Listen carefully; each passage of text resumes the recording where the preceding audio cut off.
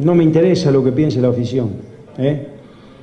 Eh, creo que recién lo hablaba con uno de los futbolistas y ellos mismos me lo decían, qué pinche presión tenemos acá en casa cuando jugamos, porque en definitiva la gente en vez de apoyar y en vez de mostrarle al equipo un apoyo incondicional, está queriendo que consiga un resultado que no se nos viene dando. Por eso juegan más tranquilo de visitante, por eso hemos conseguido victoria de visitante. Y en vez de transmitirle apoyo incondicional, le transmiten ansiedad y nerviosismo. Y lo que piense la gente no me interesa.